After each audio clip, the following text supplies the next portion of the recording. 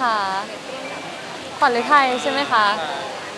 คือไม่คิดเลยอะ เพราะว่าเหมือนตอน EP แรกอะค่ะ มัน on air ตอนช่วงที่เป็นสงกรานต์เป็นวันหยุดยาวพอดี แล้วพวกเราแบบทีมงานคือถอดใจกันแล้วแบบถอดจริง ๆ เพราะว่าคนเขาก็น่าจะกลับบ้าน ไม่น่าจะมาดูละครอย่างเงี้ยค่ะ แต่กลายเป็นว่าเรตติ้งดีมาก ดีแบบที่เราไม่คิดว่าเปิดมาตอนแรกแล้วมันจะดีขนาดนี้อะไรเงี้ยค่ะ ก็ ก็โชคดีเพราะว่าละครเรื่องนี้เป็นละครที่ป้าแจ๋วกำกับด้วย แล้วก็ได้เล่นกับไมกี้อย่างเงี้ยค่ะไมกี้ก็แบบน่ารักคนดูก็เอ็นดูกันเยอะค่ะ ใช่คือมันติดเทรนด์อันดับหนึ่งในประเทศไทยอะค่ะ ตั้งแต่ EP แรกแล้วก็อาทิตย์นั้นทั้ง week เลยค่ะ แล้วก็พอมา EP 4 5 6เนี่ยก็ยังติดอยู่ แต่ว่ามา peak ที่สุดก็คือล่าสุด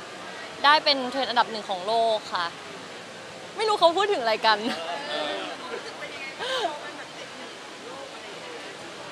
มันไม่ไม่ได้อยู่ในหัวเลยค่ะว่าแบบมันจะได้มีมีคนดูแบบเยอะขนาดนั้น แต่หนูว่าคือที่ละครมัน mass น่าจะเป็นเพราะว่าได้พี่ๆแฟนคลับด้วยที่เขาแบบแชร์กันเป็น viral เยอะมากในแบบ TikTok ในโซเชียลอะไรอย่างเงี้ยค่ะ คือมันแบบกระจายไปแบบเยอะมาก ก็เลยทำให้เป็นที่พูดถึงเยอะค่ะ จริงๆแล้วพอเราเข้าไปสอบถามเราคิดว่าเขาชื่นชอบอะไรไมกี้เหรอ เรามาพูดเรื่องเลย เขาน่าจะชื่นชอบคือส่วนมากที่พูดนะคะเขาจะบอกว่าเขาตามมาตั้งแต่คุณชายพุทธิพัฒน์แล้ว ตามมาตั้งแต่รุ่นแรกแล้วพอมารุ่นนี้เนี่ยคือเขาก็อ่านนิยมนิยายกันมาก่อนแล้ว พอเนื้อเรื่องมันแบบไปพูดถึงนิยายที่เขาชอบกันเขาก็เลยแบบยิ่งกรี๊ดยิ่งฟินกันอะไรอย่างเงี้ยค่ะ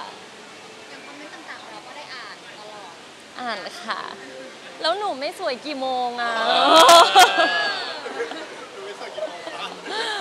ยังไง อะก็ละครตั้งใจให้มันเป็นแบบนั้นเนาะเหมือนแบบตัวละครหนูต้องห้ามแต่งตัวสวยเลย เพราะว่าแม่บังคับให้ใส่ชุดแบบเป็นเด็กทอมบอยห้าวๆแล้วก็ป้าแจ๋วเขาอยากให้ละครมันสมจริง อยากให้มันดูเรียลเขาก็เลยไม่ให้หนูแต่งหน้าแต่งตัวอะไรเยอะแล้วหนูไม่สวยกี่โมงคะก็นิดนึงค่ะ เหมือนแบบมันพอเห็นคอมเมนต์แบบเยอะๆอะไรอย่างเงี้ยเราก็รู้สึกว่าแบบ เออจริง ๆ มันคือความตั้งใจของเราในการทำงาน เราอยากให้คนไปโฟกัสเรื่องแบบละครมันสนุก แล้วก็อยากให้เขาเชื่อกับบทบาทที่เราถ่ายทอดออกมาอะไรอย่างเงี้ยค่ะ แต่ว่ากลายเป็นว่าคนไปโฟกัสเรื่องแบบหน้าตาอะไรเงี้ยก็ยอมรับนะคะ ติชมกันได้ค่ะ แต่ว่าอยากให้ดูละครสนุกจริง ๆ ค่ะเออ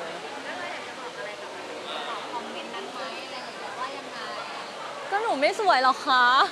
มีแบบแฟนคลับเข้าไปตีกันเองไหมที่แบบว่าบางอีกฝั่งนึงว่าสวยอีกฝั่งนึงว่าเออไม่สวยเยอะมากค่ะเยอะมากก็หลายเพจเลยก็มีข่าวไปลง แล้วก็มีการพูดถึงบน X ค่ะ จริงๆ หนูก็เข้าไปพูดถึงด้วยค่ะ หนูก็เข้าไปบอกว่าเออจริง ๆ แล้วเนี่ยเราอะแต่งตัวแบบเนี้ยเดี๋ยวมันจะมีช่วงที่สวยนะเออเดี๋ยวมันจะได้เห็นสวยกันแต่ว่า ตอนนี้ก็ก็อดทนรอนิดนึงเออสำหรับคนที่แบบว่าเขาอาจจะไม่ชอบเราแต่งตัวใน look นี้อย่างเงี้ยค่ะ ใช่มันเป็น character ค่ะ จริง ๆ หนูอยากสวยนะคะ พอได้เข้าไปพูดแล้วจริงๆแล้วมันเข้าใจมากขึ้นค่ะ แต่ว่าคือคนที่เขาเข้าใจเราที่เขาแบบชื่นชอบผลงาน แล้วก็แบบสนุกไปกับเรื่องราวเขาเข้าใจมาก ๆ เลย แต่ว่าก็จะมีคนที่เขาแบบเออก็ก็ยังยังเห็นว่าแบบเขาอยากดูแบบที่มันสวยๆงามๆอยู่อะไรอย่างเงี้ยค่ะอืม ป้าแจ๋วก็ก็เข้ามาพูดอยู่เหมือนกันเออป้าแจ๋วก็บอกว่ามันแต่งไม่ได้จริงๆมันจะมาติดขนตานอนอะไรอย่างงี้มันไม่ได้เออแต่จริงๆคนรอบข้างเรามีให้กำลังใจยังไงไหมเพราะว่าเออคนเขาก็เห็นว่าเอ้ยเราอะสวยนะแต่ว่าcomment ในละครอาจจะมาอย่างนั้นอย่างเงี้ยเราได้โอ้ยได้กำลังใจเยอะมากค่ะ จากแบบพี่ๆแฟนคลับหลาย ๆ คนก็คือเข้ามา support กันแบบเยอะมาก แล้วก็คุณแม่หนูด้วยค่ะ คุณแม่ก็บอกว่าเออไม่เป็นไรคือเราตั้งใจทำงานเราโฟกัสเรื่องงาน แล้วก็ทีมงานทุกคนก็เข้าใจเราหมดอย่างเงี้ยค่ะ ก็ก็ดีขึ้นมานิดนึงอะตัวจริงสวยโอ้ยขอบคุณค่ะโอเคแล้วก็ละครยังแบบตอนนี้แบบเข้มข้นไปถึงไหนแล้วอะไรอย่างงี้อยากตอนนี้ออนแอร์ไปได้ ถึงครึ่งแล้วค่ะ เดินทางมาครึ่งทางแล้ว คือละครเราเนี่ยตอนน้อยที่สุดใน 5 เรื่องเลยค่ะ มีแค่ 14 ตอน ก็เดินเรื่องไปแบบกระชับฉับไวมาก ตอนนี้คนเขาก็รอดูเพราะตอนนี้ละครมันขมปีมาก เขาก็อยากดูในมุมหวานๆบ้าง ก็แอบสปอยว่าอาทิตย์นี้มีหวานๆแล้วนะคะจะหวานแล้ว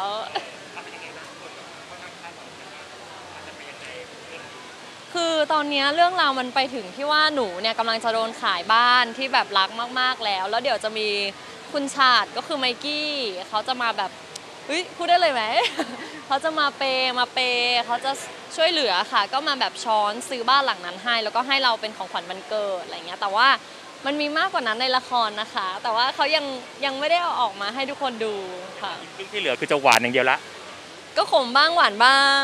ก็เป็นแบบลาเต้เย็นอย่างนี้บ้างค่ะกาแฟอยู่ยังขมอยู่